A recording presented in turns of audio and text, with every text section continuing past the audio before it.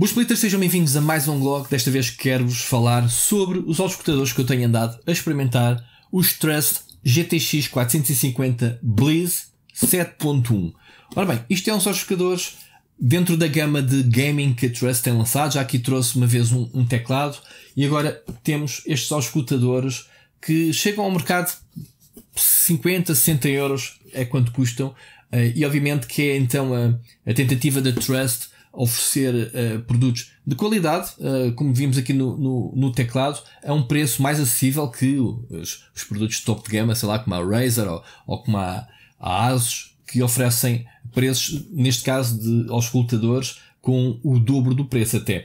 E estes são bastante acessíveis um, e têm algumas características muito interessantes. Não é totalmente positivo, obviamente, mas vou-vos aqui falar um bocadinho daquilo que eu gostei e não gostei durante a minha experiência nestas últimas semanas. Tenho andado então a experimentar. Um, podemos ler aqui já características na caixa um, que temos então RGB, eles são iluminados, e eu já vos vou mostrar os auscultadores. Temos então um, pequeno comando uh, e temos um cabo de 2 metros reforçado. Portanto, são as características que realmente um, eu deixaria assentar.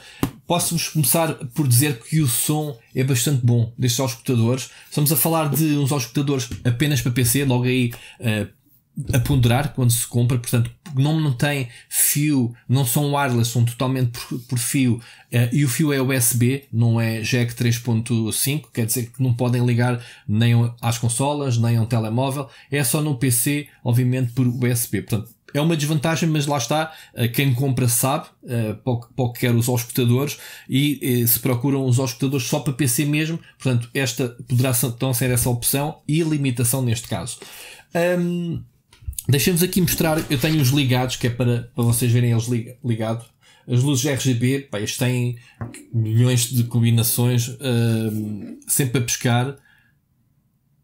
Torna muito interessante. E o microfone também tem iluminação.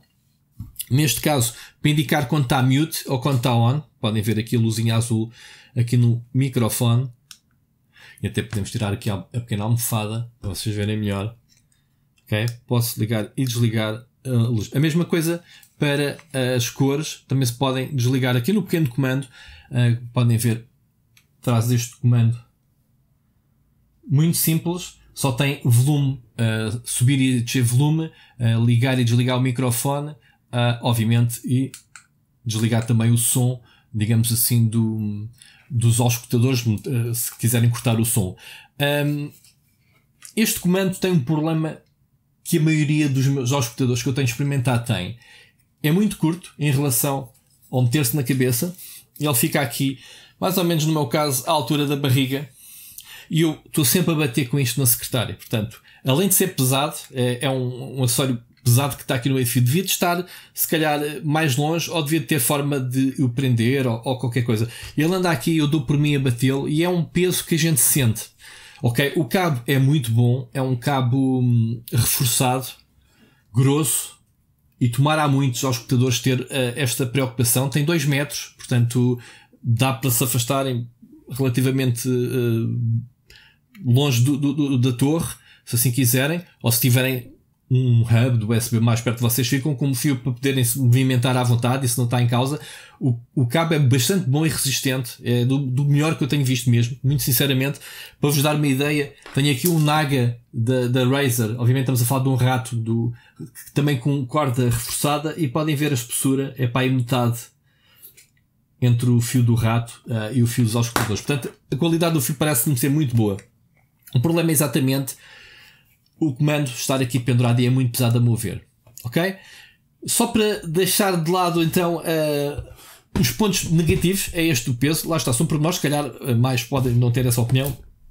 É quem não utilizar o microfone embutido, como é o meu caso, não dá para tirá-lo. Portanto, não é movível. Significa que vocês vão estar sempre aqui com ele. Uh, epá, e a mim faz-me alguma confusão porque eu quando roço uh, incomoda-me aqui um bocado. Podem, obviamente, dobrá-lo ele é flexível, podem fazer o que quiserem, mas pronto, mais uma vez, isto é uh, um caso eh, particular meu. Eu uso um microfone externo, como é óbvio, não preciso disto para nada e simplesmente uh, em outras soluções que eu recebi, é simplesmente tiro fora e guardo, não preciso. Neste caso, tem que estar sempre aqui. Se não quiserem ter a esponja, e tornar uh, o headset mais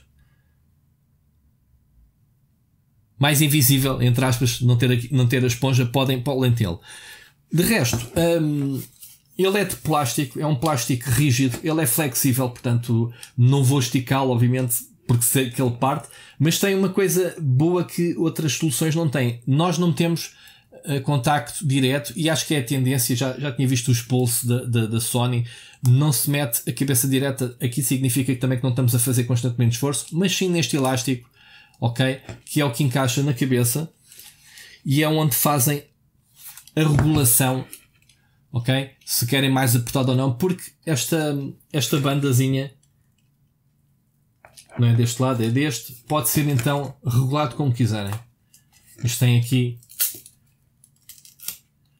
Estão a ver? Podem regulá-lo, podem apertá-lo mais, podem pô-lo como quiserem e ele assenta bem uh, na cabeça. Ok? Uh, outro aspecto que gostei muito é que é um headset muito levezinho.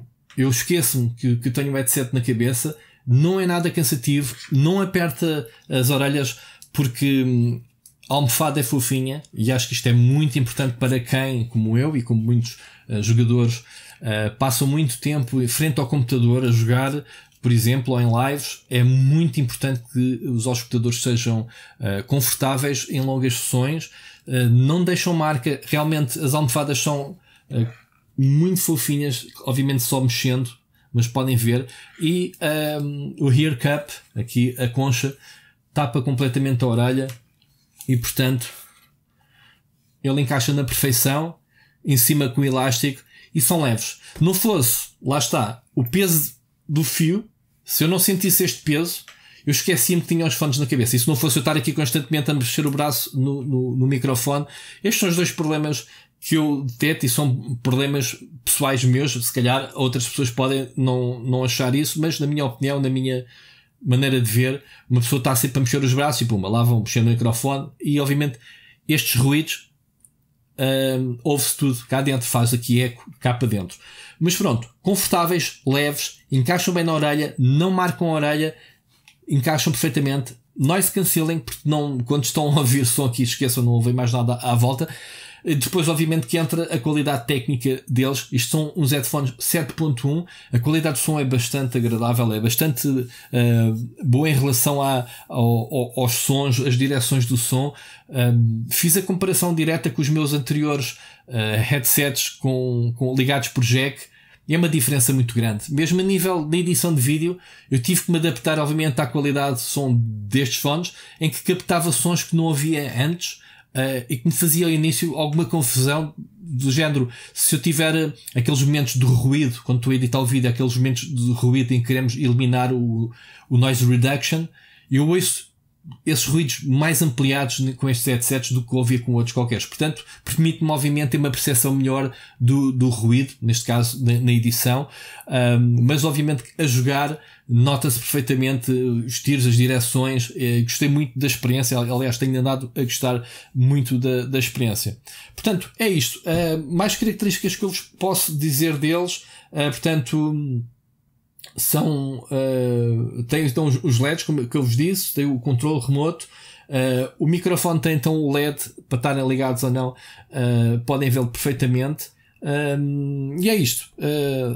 Uma, uma, um bom equipamento da, da Trust em relação a, a obviamente à qualidade som à qualidade, à qualidade de som e ao preço que, que está a ser praticado parece muito interessante um, é uma questão de vocês experimentarem. Tem aqui mais alguns pormenorzinhos que é a, a rotação. Vocês podem rodar aqui um bocadinho.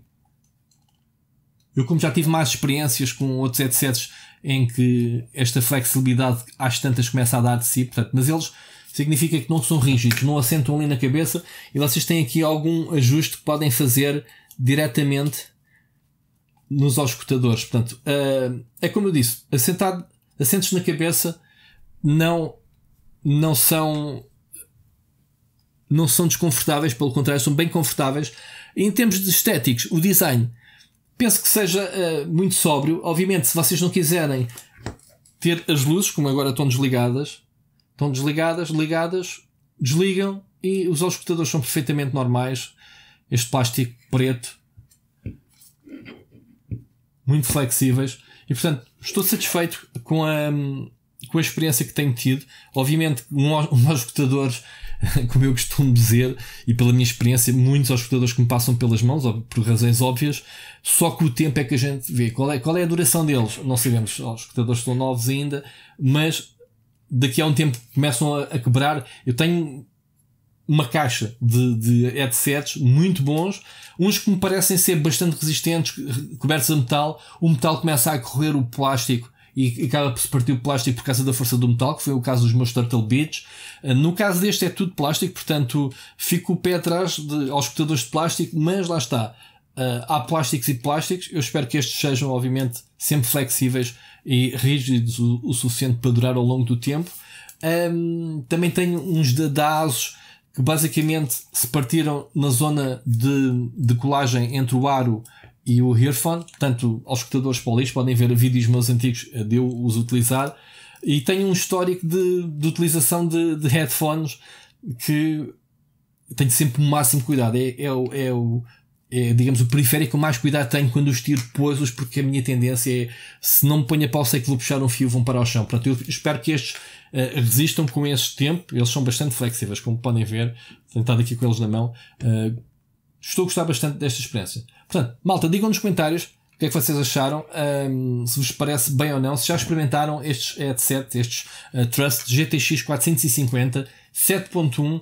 Realmente o som bastante bom, confortáveis, não aleija as orelhas e para mim essas são as principais uh, pontos que, que, me levam a escolher uns, uns headphones. Obviamente a qualidade de som, mas isso só experimentando. Tem só este pormenorzinho do comando ser estupidamente grande. Eu fazia este comando pela metade. Escusávamos ter uma tablet tão grande e tão pesada pendurado.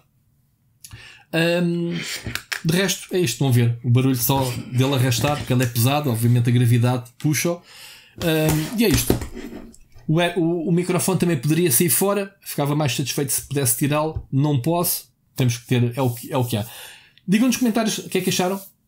Deixem like para apoiar então este vídeo. Obrigado por assistirem e vemos no próximo vídeo. Um grande abraço.